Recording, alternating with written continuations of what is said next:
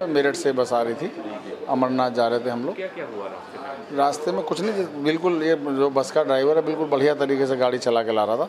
और ट्रक वाला आया और उसने बिल्कुल इधर से साइड से एकदम उसमें दे के मारी। और जो आगे लोग बैठे थे वो तो बहुत इंजॉर्ड हैं। हम दो चार सीट पीछे थे। हमारे तो नहीं, लेकिन जो और जो हमारे, हमारी मदर वगैरह बैठी थी, उनको काफ़ी चोट है। यहाँ पर जब हम पहुँचे तो हम तो वहाँ ढूंढते रहे, हमें तो कोई यहाँ जानकारी नहीं, उधर के रहने वाले हैं तो एक कोई लाल सी गाड़ी लेकर आए कि सज्जन ने भेजी, हमें जानकारी नहीं। उसके थोड़ी देर बाद एक पुलिस की गाड़ी आई।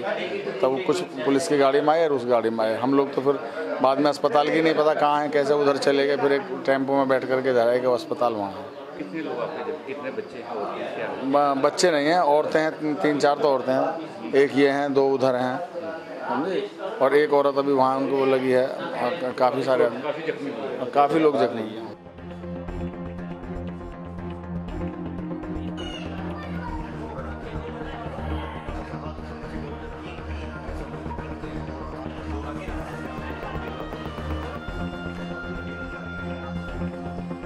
हाँ हॉस्पिटल में कोई ग्यारह, साढ़े ग्यारह बजे, कोई बारह, तेरह केसेस ना अमरनाथ यात्रु जो जा रहे थे, उनका कहीं लखनपुर के पास एक्सीडेंट हुआ तो हमारे हॉस्पिटल में लाया। तो यहाँ पे कैजुअल्टी में, हमारे कैजुअल्टी मेडिकल अफसर थे डॉक्टर उत्तम, उन्होंने उनको देखा है।